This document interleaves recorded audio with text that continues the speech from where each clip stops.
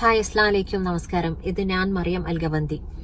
കുറച്ച് ദിവസങ്ങളായി ഞാൻ വിചാരിക്കണ എന്തെങ്കിലും ഈ കൊറോണനെ പറ്റി എന്തെങ്കിലും ഒരു പോസ്റ്റ് ഇടണം മലയാളത്തിൽ.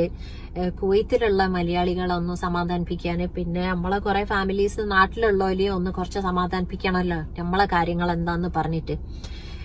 പക്ഷേ അതിനൊന്നും ഒരു മൂഡില്ലേനു പക്ഷേ ഇന്നലെ തൊട്ടിട്ട് കുറച്ച് കാര്യങ്ങളൊന്ന് സീരിയസ് ആവാൻ തുടങ്ങി. ഗവൺമെന്റ് കുറെ നിയമങ്ങൾ ഇറക്കി. അപ്പോ എന്തെങ്കിലും ഒന്ന് പറയണം എന്നുള്ള ആ സമയമായി എന്ന് തോന്നി. ഇപ്പം കുവൈറ്റിൽ ഇന്ന് മാർച്ച് പതിമൂന്ന് ഇപ്പൊ രാത്രി എട്ട് മണി. ഇതുവരെ നൂറാളാണ് ഇവിടെ കുവൈറ്റിൽ ഈ അസുഖം പിടിച്ചോൽ. നൂറ്. ഈ നമ്പർ കൂടാനുള്ള സാധ്യത ഉണ്ട് പക്ഷേ ഗവൺമെന്റ് കയ്യണോടത്തിലുള്ള ഒക്കെ ചെയ്യുന്നുണ്ട് കൺട്രോൾ ചെയ്യാന്. കുറെ നിയമങ്ങൾ ഇറക്കിക്കണ് ഫസ്റ്റ് നമ്മക്ക് ചെയ്യാൻ പറ്റണേ നമ്മൾ ഓൾറെഡി അലഹമില്ല എല്ലാവരും വൃത്തിയുള്ള ആൾക്കാരാണ്. പക്ഷെ ഈ സമയത്ത് കുറച്ചൊന്ന് വൃത്തി യാസ്തിയായിട്ട് നമ്മൾ കാണിക്കണം. രണ്ടാമത്തെ കാര്യം ഗവൺമെന്റ് അഞ്ച് നേരത്തെ നിസ്കാരം വരെ പള്ളിയിൽ പള്ളിയിലത്തെ നിർത്തിക്കണം ഈ സിറ്റുവേഷൻ കഴിയണ വരെ. എന്താന്ന് പറഞ്ഞാൽ കൂടുതൽ ആൾക്കാർ ഒരു സ്ഥലത്ത് ഉണ്ടാവണ്ടെന്ന് വിചാരിച്ചിട്ട്. അപ്പോ നമ്മൾ അതൊന്ന് മനസ്സിലാക്കുക. കൂടുതൽ ആൾക്കാരുള്ള സ്ഥലത്തേക്ക് പോവാതെ നിൽക്കുക. ഈ സമയത്ത് പള്ളി മാത്രമല്ല വേറെ ഏത് സ്ഥലം ഉണ്ടെങ്കിലും ഇപ്പൊ നമുക്ക് സൂപ്പർ മാർക്കറ്റിൽ വരെ നമുക്ക് എന്തെങ്കിലും ഒരു ആവശ്യം ഉണ്ടെങ്കിൽ ഒരു ഫാമിലി ആയിട്ട് പോകേണ്ട ആവശ്യമില്ല. നമ്മൾ ഒരാൾ പോവുക വാങ്ങാനുള്ളത് വാങ്ങിയിട്ട് വീട്ടിലേക്ക് തിരിച്ചു വരിക. പിന്നെ ഫെബ്രുവരി ഇരുപത്തേഴാം തീയതി തൊട്ടിട്ട് അതിന്റെ ശേഷം ആരാണ് കുവൈറ്റിലേക്ക് വന്ന് അവർക്ക് ഒരു ചെക്കപ്പ് ഉണ്ട്. ആ ചെക്കപ്പ് എന്തായാലും പോയി ചെയ്യണം. എന്തായാലും പോയി ചെയ്യണം. എന്തായാലും പോയി ചെയ്യണം.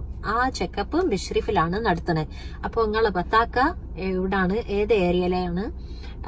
അതിന് ഓരോരോ ഏരിയക്ക് ഓരോരോ ദിവസം ഉണ്ട് അതൊന്ന് ചെക്ക് ചെയ്യാം. എന്നിട്ട് പോയിട്ട് ആ ചെക്കപ്പ് എന്തായാലും നടത്താം. ഫെബ്രുവരി ഇരുപത്തി ഏഴാം തീയതി തൊട്ടിട്ട് അതിന്റെ ശേഷം കുവൈറ്റിലേക്ക് എത്തിയ ആൾക്കാർ ഇന്ന് രാത്രി ചിലപ്പം ഒരാഴ്ചത്തേക്ക് എയർപോർട്ട് അടിക്കും. ചിലപ്പം ഒരു ഫ്ലൈറ്റ് അങ്ങോട്ടും ഒരു ഫ്ലൈറ്റ് ഇങ്ങോട്ടും ഇല്ല. മീൻസ് ഇന്ത്യയിലേക്ക് മാത്രമല്ല ലോകം മൊത്തം ഉള്ള ഫ്ലൈറ്റ് നിർത്തൂ എന്നുള്ള ഒരു വാർത്ത ഉണ്ട്. പക്ഷെ അത് ഇതുവരെ കൺഫേം അല്ല പക്ഷെ അങ്ങനത്തെ ഒരു വാർത്ത ഉണ്ട്.